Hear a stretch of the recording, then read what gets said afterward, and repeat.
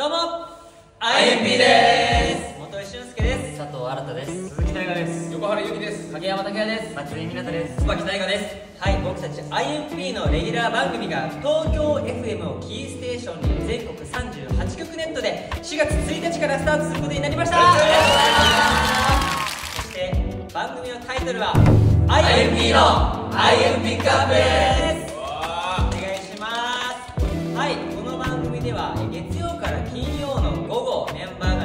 人毎日登場する5分間の帯番組となっております。